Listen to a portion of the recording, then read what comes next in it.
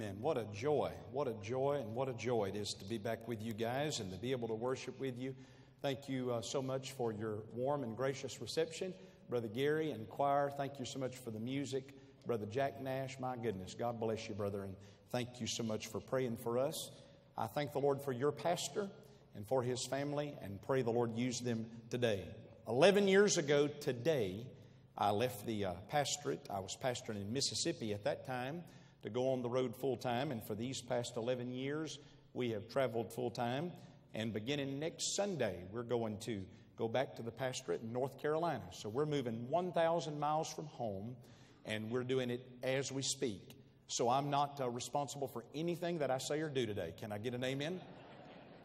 Our moving truck left out Thursday, and we made our way here, uh, leaving Louisiana late Friday and on to here, and then uh, following the service, we're going to North Carolina to get settled in and begin there next Sunday. So thank you so much, church, for your prayers. Now, are you glad you're here today? Can you say amen?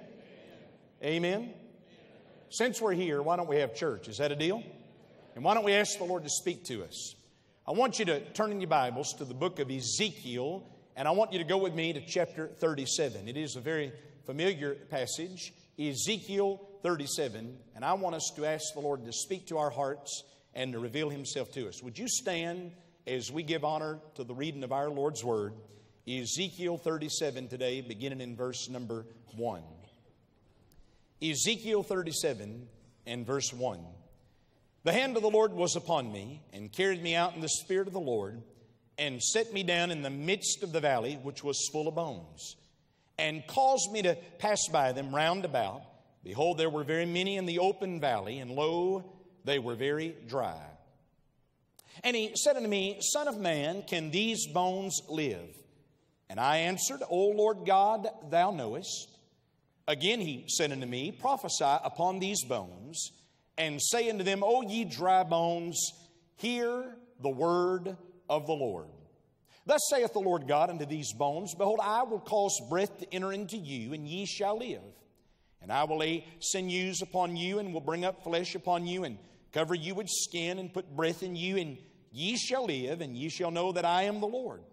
So I prophesied as I was commanded, and as I prophesied, there was a noise, and behold, a shaking, and the bones came together, bone to his bone.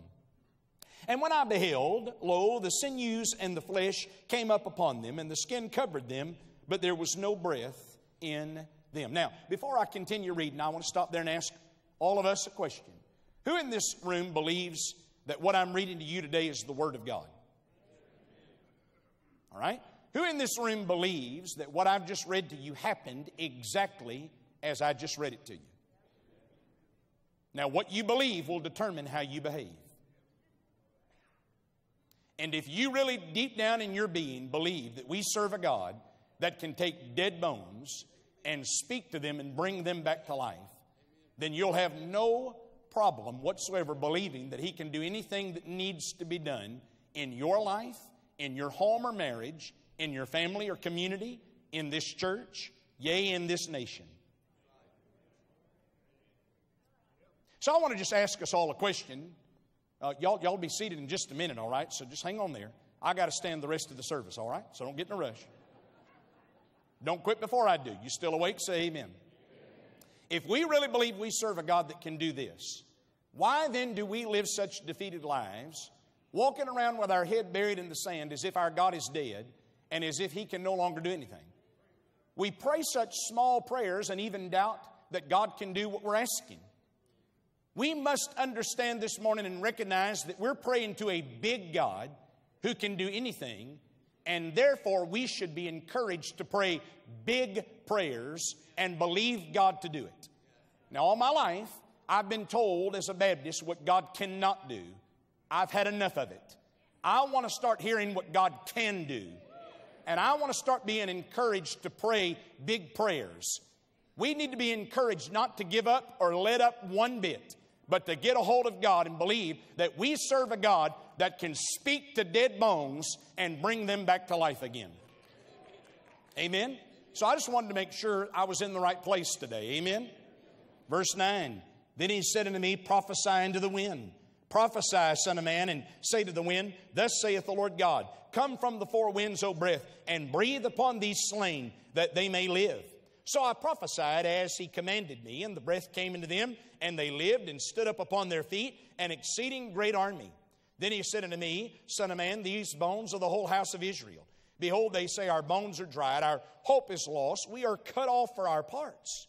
Therefore prophesy and say unto them, Thus saith the Lord God, Behold, on my people, I will open your graves, and I will cause you to come up out of your graves and bring you into the land of Israel. And ye shall know that I am the Lord when I have opened your graves, O my people, and brought you up out of your graves, and shall put my spirit in you, and ye shall live, and I shall place you in your own land. Then shall you know that I, the Lord, have spoken it and performed it, saith the Lord. Father, we need you today to speak to us. Give us the grace to hear you and to obey you. In Jesus' name we pray. And everyone said, Amen. And you may be seated. Ezekiel, as you very well know, was an unusual and unique prophet of old. God, we read in this book, would communicate his heart to him and his purposes to him in very unique and unusual and what we deem strange ways. I don't believe there is any more peculiar way for God to communicate his message and his vision to a man than what we've just read here in these verses. God takes the man of God in the Spirit and brings him back to a location geographically where God had first called him 25 years prior to this episode. God causes him to be brought back to this open valley, a large valley, an open valley, and in the Spirit allows him to see a valley that is full of dry bones. Dry means they're baked, they're bleached. These are dry bones. Now, it is very obvious the scene that is unfolding before the man of God's eyes of an army that had been slain in battle. They were not given the decency of a proper burial, but rather their bodies were allowed to rot and decompose in the open valley.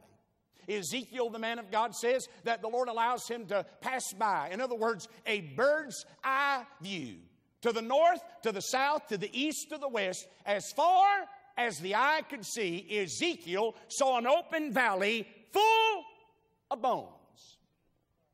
And then God asked a question Can these bones live?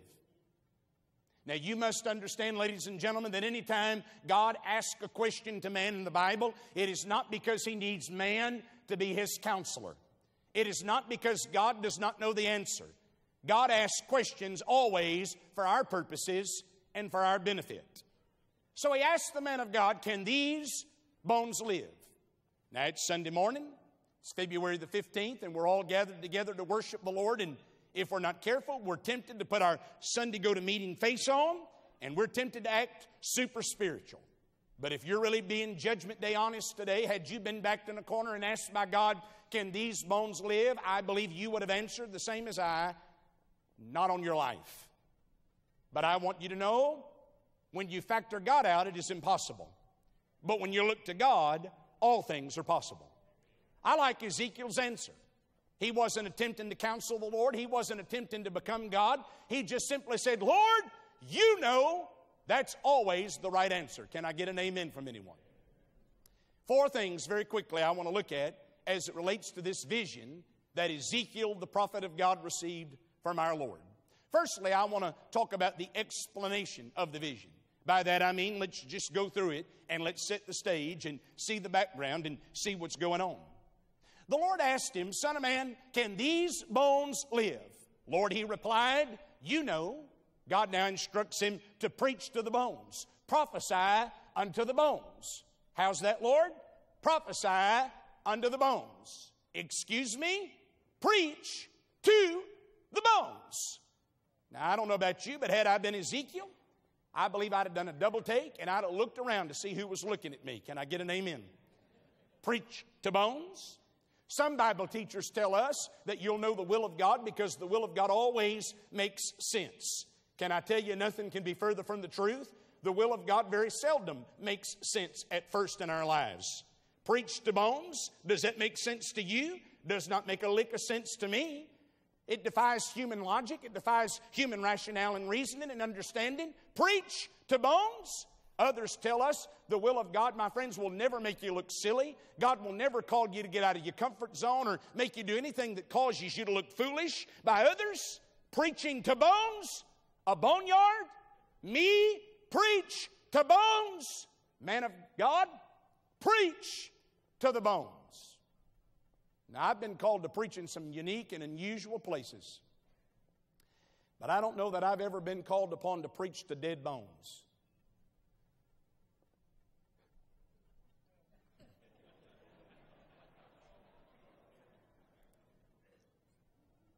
But you know, come to think of it,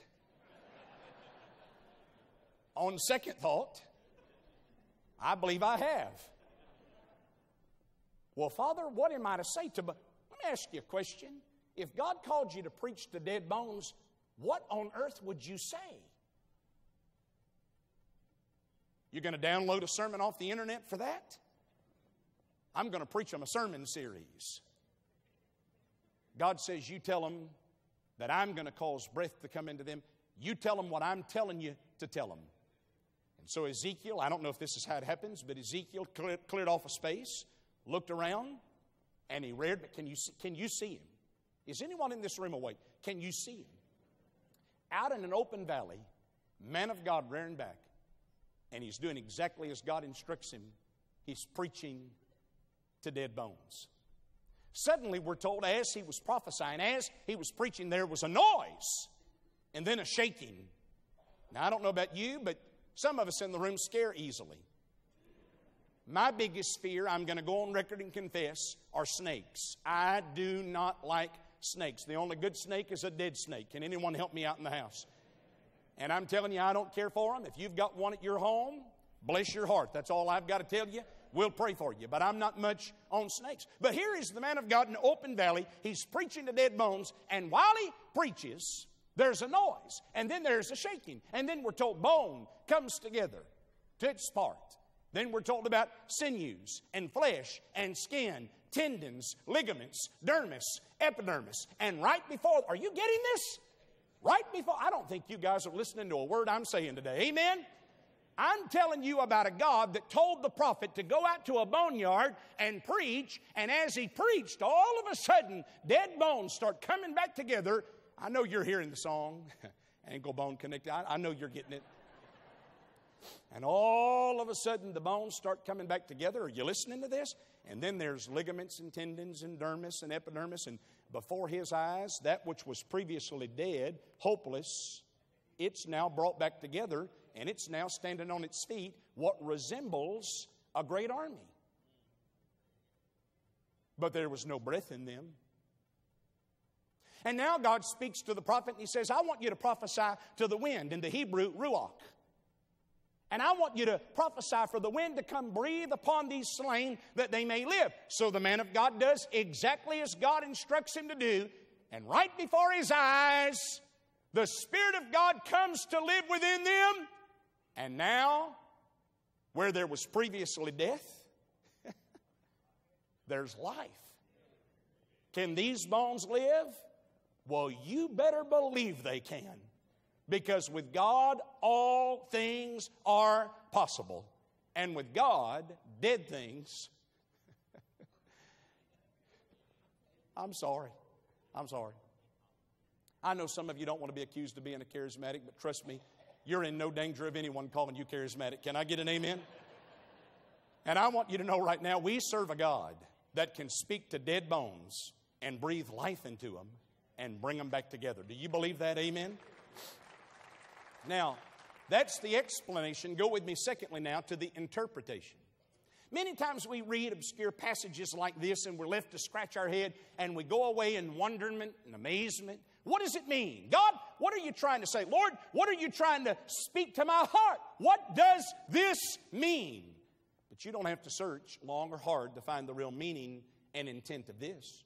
Notice verse 11. Then he said unto me, Son of man, these bones are the whole house of Israel. What does this represent? God clearly tells us in his word. It represents the whole house of Israel. This was a dark day for Israel. This was a hopeless and bleak day for Israel. Do you understand? They had been cut off. I want you to understand they were desolate. And God was bringing the man of God back to this valley to give him a visual picture. Are you listening? Of what the nation of Israel was like. And just as these bones were dead, just as it was impossible, just as it was hopeless, just as there was nothing humanly that could be done to breathe life into these bones, God was communicating to the man of God, such is the case for the nation of Israel. Such is the case for your beloved people and my beloved people. Can these bones live? Can the nation of Israel live again? Can God bring life out of death? Can God bring life into dead bones? Yes. Can God breathe life into a dead nation that's cut off and is in a dark time in her history and in peril? And can God bring her back again? You better believe it. And God is communicating to the man of God just as I can breathe life into those bones. You're sitting here thinking the nation of Israel is over and it's cut off. I want you to know it's not over till I say it's over. And when you read the Word of God, you'll discover that in order for Israel to be cut off and destroyed, God would have to be killed, and that will never happen, and God will keep His promises to His chosen people. Now, not everyone today, unfortunately, agrees with that. And not everyone today believes that the Jews of today have anything to do with the Jews of what we read in the Word of God. Not everyone agrees today with eschatology and biblical prophecy in the book of Revelation and that God is going to accomplish and carry out His purposes for His chosen people and His promises for His chosen people. And when you get to preach, you preach it your way, but I'm preaching today. Can I get an amen?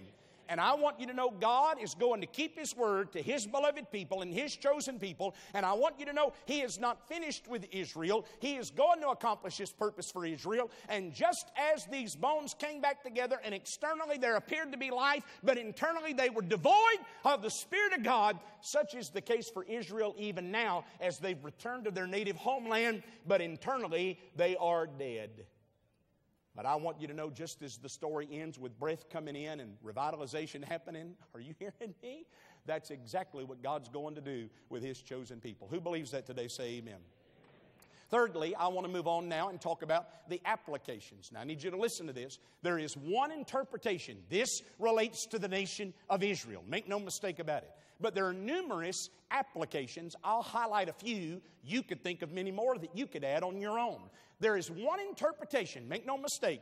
This relates to the nation of Israel, how she was in a dark, desolate time in her life, and God was promising to the man of God, I'm going to bring her back, and I'm going to restore her and breathe life into her. Listen, but now there are numerous applications. Let's talk about a few. Firstly, there's the resurrection of the dead.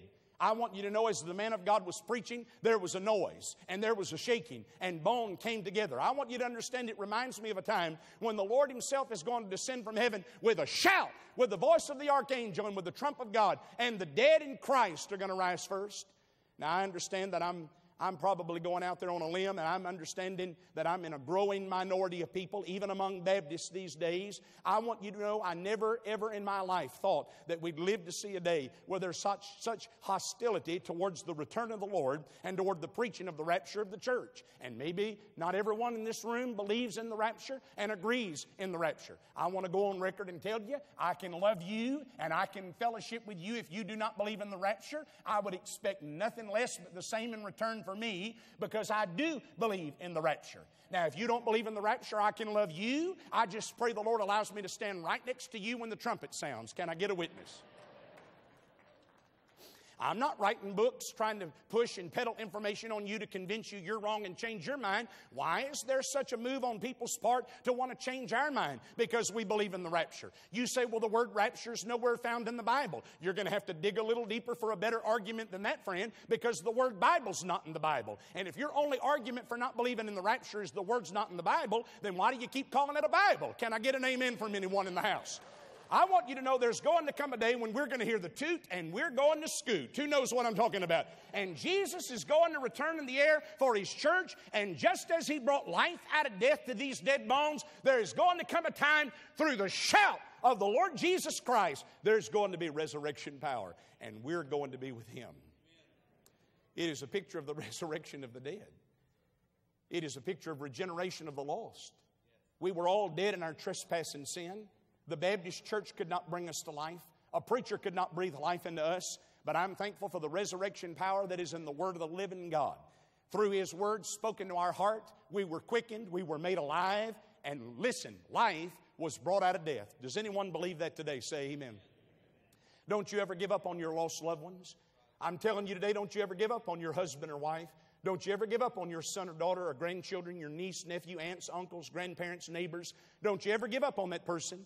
Don't you ever curse them and say they'll never change. Don't you ever make such a declaration as they're no good. They've always been that way. I want you to know their mother was that way and their mother before them, and they'll always be that way. I want you to know with God all things are possible, and with God, He can bring life out of death, and I want you to know He can resurrect anyone who hears His word and turns to Him. Aren't you grateful God reached down and saved your soul? Aren't you glad God did not give up on you, and what He's done for you, He can do for others? Who believes that today? Say amen. It is a picture of revival in the church. Who believes our churches need revival? Who believes this church needs revival? If you don't, if you're not willing to admit you need revival, you'll never have revival. Because as long as you see yourself as self sufficient and content and increased with goods and in need of nothing, you'll never in desperation cry out to God to say, God, do something on my behalf, do a work in my home and marriage and family. I want you to know we serve a God that can bring life out of death. He can take dead bones and breathe life into them and bring them back. And such is the case for our churches across our land. We need life. Is anyone listening to what I'm saying? We need a rediscovery of the Holy Spirit and of who God is. We need real, genuine, authentic revival. We need an awakening, and I want you to know God can do it. He's the only one who can do it. Quit giving up and saying it's over. You're not God, neither am I. It's not over till He says it's over. Amen. Let me give you one other application very quickly. It is a picture, listen, of the renewal and of the revitalization of a nation. See, in the essence, that's what God's talking about here. Are you getting this? I don't understand all this mealy mouth down in the dumps. I just don't get it. I'm sorry, and I don't mean to be rude, and I don't mean to be ugly. But I just don't understand all this negativity that's going on in our churches. We curse the darkness. It's as if we've given up on our nation. It's as if we've given up on God. It's as if we've said it's over. Are you listening? We sit there and watch the news, best thing you can do is turn that stuff off. The sky is falling, the sky is falling, the sky is falling. Now, I'm not ignoring reality that it's bad. As if any of us in this room can fix 18 trillion in debt. As if any of us in this room are smart enough and sophisticated enough to fix this. We've got to reach the end of ourselves to look to the reality that only God can fix this. But you're the ones that said you believed we serve a God that can breathe life into dead bones and bring them back on their feet again. And what you believe determines how you behave. And what I want to know is if we really believe this story and if we really believe that God is able to do this, then you please tell me why in the world we're wringing our hands in agony and despair and depression and giving up on our nation as if to say it's too hard of a feat or an accomplishment for God to turn it around. Is God going to bring revival to our nation? I'm not sure, but I want to be a part of the solution and not a part of the problem. What about you? And it doesn't take any sophistication or intellect whatsoever to stand up and curse the darkness and talk about how evil we are and deplorable we are and wicked we are and how we're going under. I want you to know we serve a God that can speak the word and through the word of God can bring life out of death. And in the immediate application of this passage, what you'll discover is God was showing the man of God the situation for Israel and how she was cut off and in despair and without hope. And he was wanting to get across to the man of God Can these bones live, Lord? You know. God was saying, I want you to know I can bring life out of death, and I want you to know I can revive a nation that's too far gone. Whew. I'm going to preach it till you get it. So if you're not getting it, you may as well shout on credit. Can I get a witness? Make me think you're getting it. Amen? We, we want to sit there and be negative and wring our hands. And, Brother Jerry, do you see what's going on? Do you know what's going on across the land? Well, I never thought we'd live to see a day. On and on and on. And I want to look you in the eye and I want to tell you unashamedly that you think and we think it's all falling apart. Can I tell you something? It's all coming together. God's on his throne. Are you listening to what I'm saying? The heart of the king is in the hand of the Lord, and he turns it whithersoever he will. And the point is, we as people of God need to get a hold of God and believe God that God can speak the word and bring life out of death and can revive our nation. These are horrible days, yes, but I'll tell you this they could be the greatest days we've ever experienced in our life because if there's ever been need for the light to shine, it's right now. Do you believe that, yes or no? If there's ever been need for a real awakening, I want you to understand for holy God to move on the hearts and lives of people, it's right now. If there's ever been a day for us to be instruments God could use to bring revival, it's right now. Enough of playing patty cake, enough of these little games, enough of rearranging furniture. Hear me very well. These are now days where we stand firm and flat footed on the Word of God, and rather than being politically correct, want to be biblically correct and stand up and say, This is what God says, and we serve a God that can bring life out of death. Amen?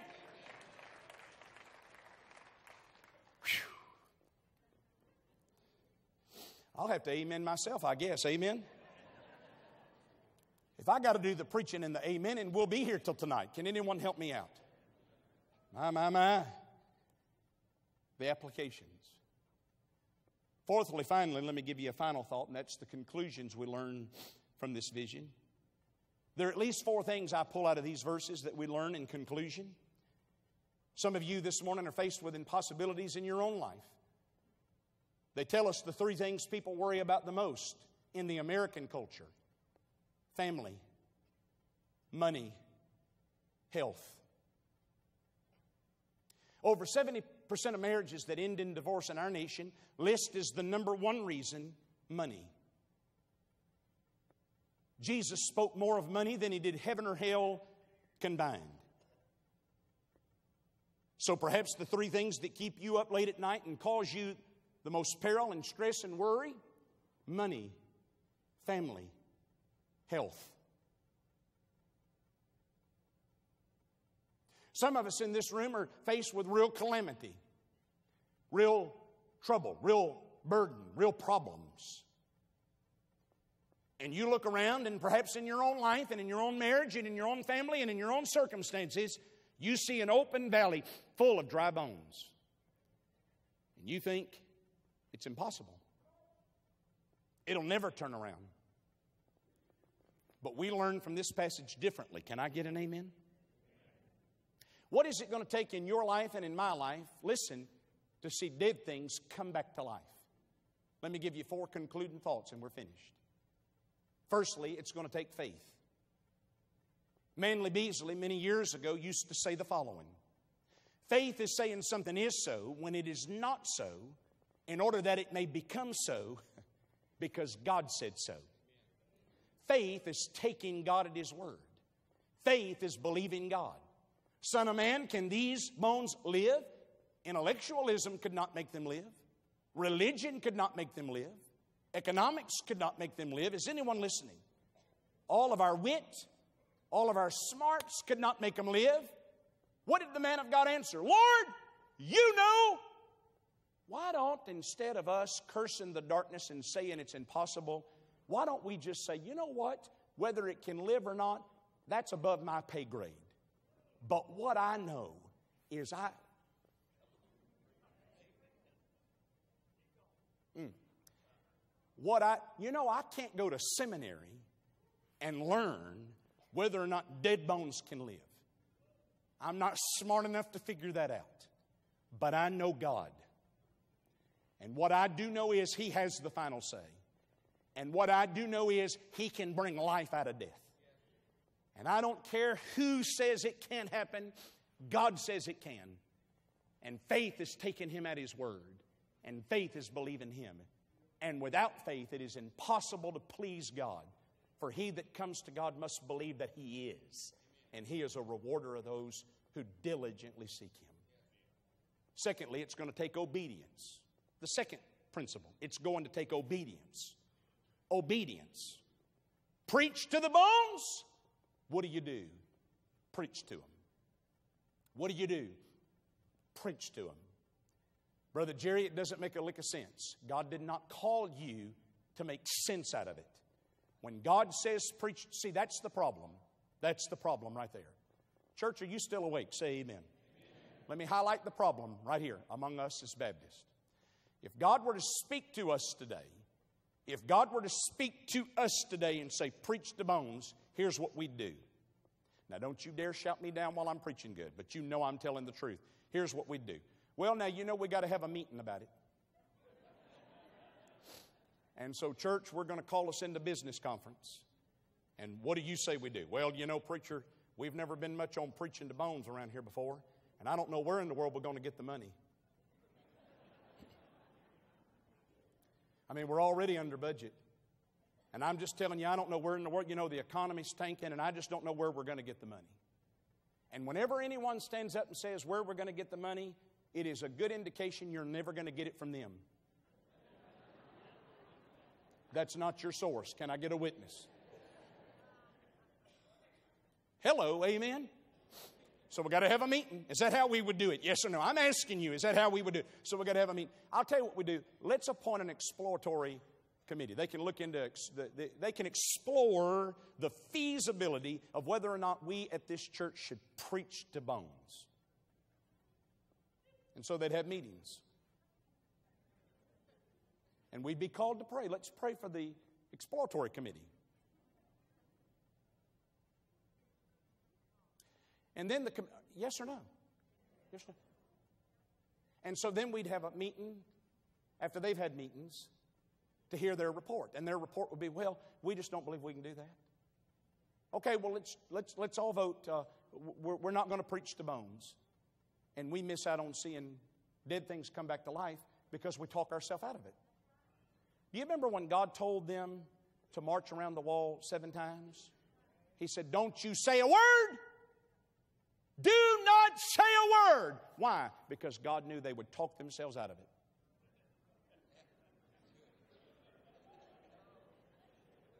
Does that make a lick? We're going to tear the wall down by marching around it? And then on the last day, march seven times and blow the trumpet and shout? Now that's a good plan, God. Amen? And somewhere along the line, we've got to be reminded that the wisdom of man is the foolishness of God. And the more talking we do, the more we get ourselves into trouble because we get focused on the flesh and the impossibilities rather than the God who's behind the impossibilities. And not most of the time, but all of the time, we will talk ourselves out of it and we'll miss out on seeing walls come down and dead bones come to life because we've got to talk. Better yet, you want to see life come out of death? When God tells you to do something, do it. Don't you sit down and add up all the pros and cons and pluses and minuses and assets and it doesn't listen it doesn't make any sense that you take a dollar and give a dime to god and he'll make 90 cents go further than 100 cents. That defies all human logic and rationale. That's why 80% of baptists do not do it. Hello somebody. Amen brother jared. Good preaching that's why 80% of baptists do not do it because you talk yourself out of it. Because you sit down and you figure it all up and you add it up and it doesn't make sense and it does and you know what? It'll never work out on paper. You've just got to give a dime on every dollar to God and trust Him and know that if He's big enough to get you out of hell and get you into heaven, He is big enough to take 90 cents and stretch it and go further than 100 cents. And if you don't believe it, try Him and see what He'll do. Amen? And until you've tried it, you sit there and roll your eyes all you want to. Now, I'm not the pastor of this church, so I can't say this here. But when I used to pastor, here's what I always said if you're not a tither, if you're robbing God, you start tithing today. You do it for 13 Sundays, and if at the end of 13 Sundays you can stand before the church and say that it doesn't work, we'll refund you 100% of your money. And never one taker in all the years I pastored. Can I get an amen? You want to know why? Because God says, try me, try me, try me, try me, try me, try me. Put me to the test. Put me. Hey, when God says, I double dog dare you, you better rear back and trust Him. Amen? What's it going to take to see life come out of death? Obedience. When God says do something, do it. Thirdly, we're almost done. It's going to take the Word of God. What did He say do? Speak the Word, prophesy the Word, Preach the Word. Preach the Word. Enough of my ideas and your ideas and political parties and persuasions. Preach the Word of God. Preach the Word of God. Preach the Word of God. Amen? Preach the Word of God. I don't mean to be ugly. I don't mean to be ugly. But if all we needed was another cute little clever talk to bring revival, we'd have had revival already in this nation because we've had a bunch of that. Can I get an amen from anyone? I'm telling you, whatever happened to just opening the Bible, letting God speak, letting God be true, and every man a liar. Thank God you have a pastor with integrity who stands on the Word of God. Thank God for him. Amen? Amen. Preach the Word of God. Preach the Word of God. Stand on the Word of God. Stand on the Word of God. Life out of death when you speak the Word of God. Fourth and finally, and we're finished, it's going to take the Holy Spirit. Now, that's where we Baptists get nervous. Why are we Baptists so afraid of the Holy Spirit? I've never been able to figure it out or understand. I do not understand why. He said, Look, I want you to prophesy to the wind, prophesy to the Spirit that it would come and breathe in these slain. And he did, and the Spirit did, and they were alive. All is vain unless the Spirit of the Holy One comes down. Why are we so afraid of the Holy Spirit? Would you like me to be honest with all of us and give us the answer? It's because we are afraid of losing control. And the thing about that that is so rather humorous to me is how little in control we really are. And yet we boast and brag that I'm in control. For years, I have preached that revival always has happened with younger people. Historically, if you study revival, you will discover that every revival, every awakening, every one started with younger people. Many times on college campuses where younger people would rise early to gather to pray and cry out to God for an awakening.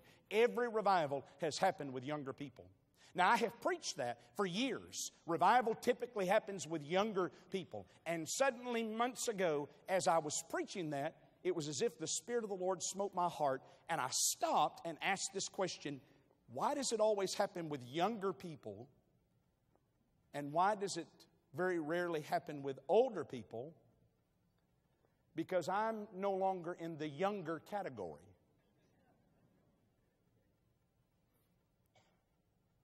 Do you agree that it would do us a lot of good to get the answer to that question? And the Lord whispered to my heart, and here's what He said to me.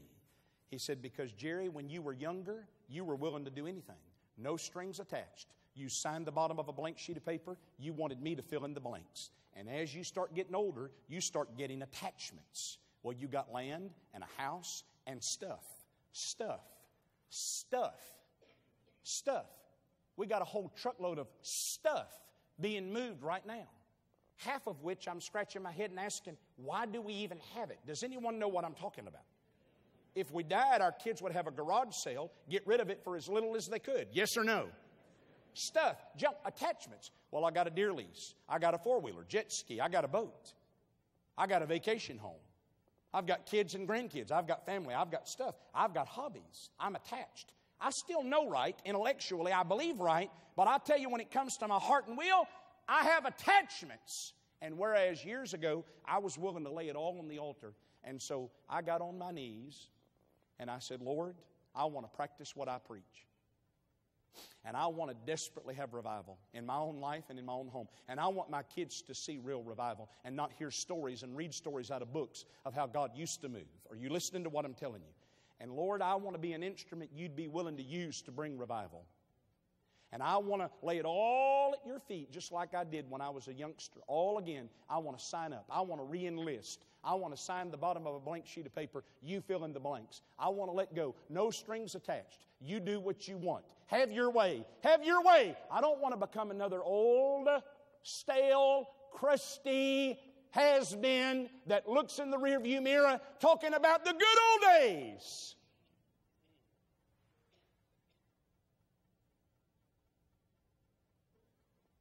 And for me, this doesn't mean this is what will happen to you, but for me,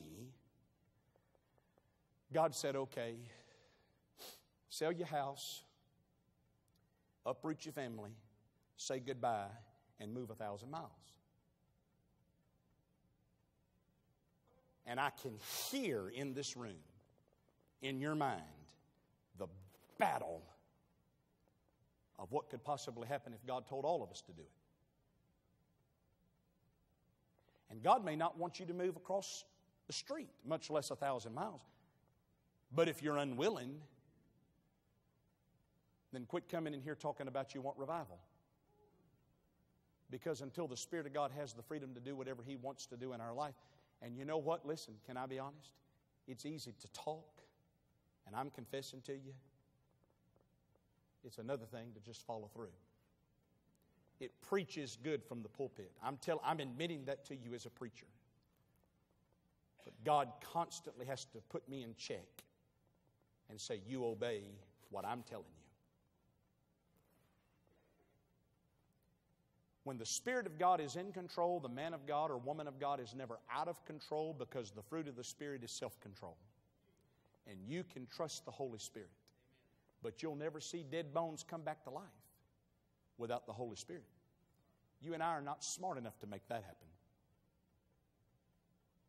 And we're not smart enough to turn this church, this nation, or our family around. But God can do it with one word. But He's looking for vessels who will believe Him, who will obey Him, who will stand on the Word, who will be yielded to the Spirit. Who believes this today? Now, I've got a question. We're going to pray. We're done. It's over. You in your own life, perhaps, are faced with real, real, real difficulties.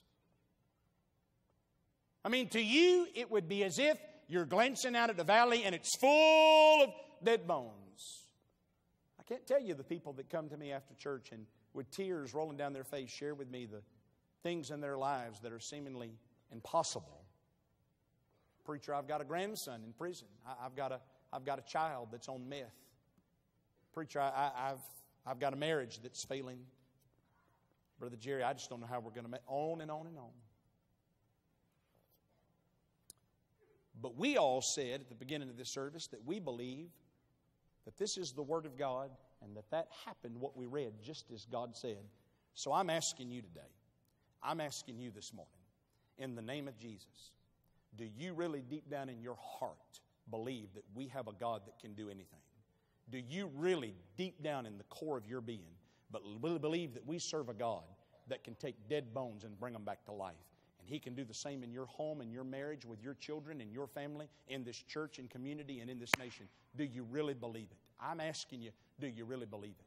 Then, if you do, get a word from Him. Stand on it. Do what He tells you. Stand on the Word of God. Yield to the Holy Spirit and allow Him to use you as an instrument to bring revival. Can I get an amen from anyone? Amen. We were having an offering several years ago at church. My little boy went in his room between the Sunday morning and Sunday evening service, and at that time he had one of those trifold Velcro wallets. Do you know what I'm talking about? You and that, that little boy was so proud of it. And he came out, and that wallet was that thick. And I said, Luke, what are you doing? And he said, Well, I've, I, I was putting my money in my wallet. And I think he had about $143, most of which was dollar bills that he had gotten from birthday money and different things, and he crammed it in his wallet, couldn't even get it to close. Do you see the picture? And I said, What are you doing? And he said, Daddy, they said this morning that tonight at church we're taking an offering.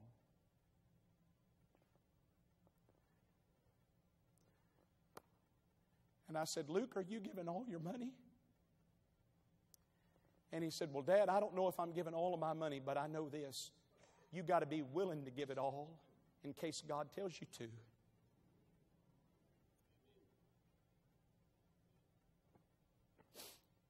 And I don't know what God's going to call you or me to do. But I know we've got to be willing to give it all in case He tells us to. He wants our heart, He wants us. Amen?